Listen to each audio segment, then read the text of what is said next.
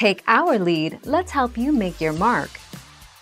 Our goal is your satisfaction. Let us show you the way.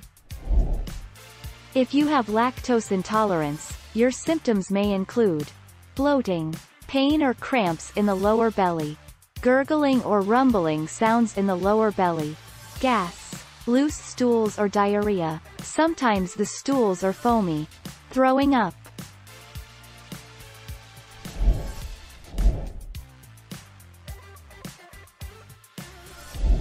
Let's help you make your mark. Drink 250 milliliters milk in a short time. Then wait about 30 to 60 minutes and watch for symptoms such as abdominal pain, bloating, or diarrhea. If you observe these symptoms, you are likely to be lactose intolerant.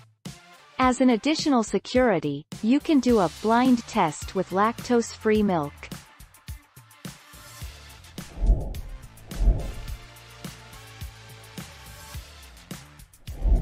Make your mark, take our lead.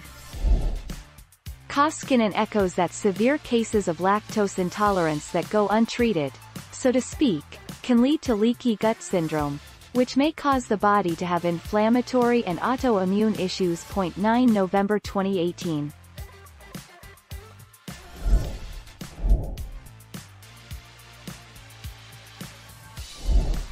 Take our lead. Treatment. Limit milk and other dairy products.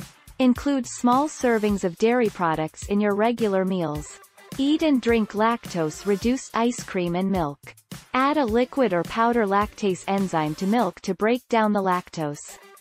The 7th of April 2020.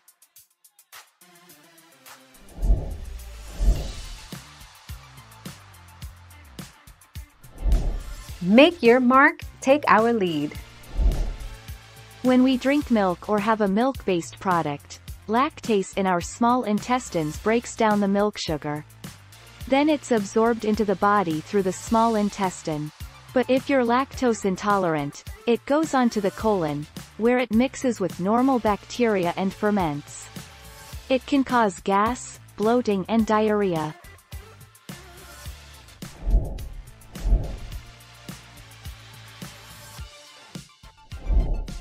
Take our lead. Eggs and lactose intolerance If you're lactose intolerant, it is perfectly safe to eat eggs. Lactose intolerance is a digestive condition in which your body cannot digest lactose, the main sugar in milk and dairy products.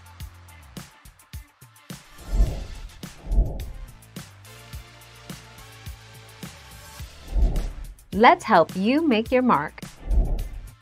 It's possible to become lactose intolerant all of a sudden if another medical condition, such as gastroenteritis, or prolonged abstinence from dairy triggers the body. It is normal to lose tolerance for lactose as you age. 22 April 2020.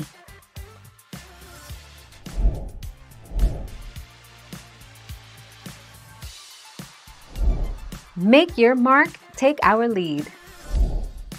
There's no cure for lactose intolerance, but most people are able to control their symptoms by making changes to their diet. Some cases of lactose intolerance, such as those caused by gastroenteritis, are only temporary and will improve within a few days or weeks.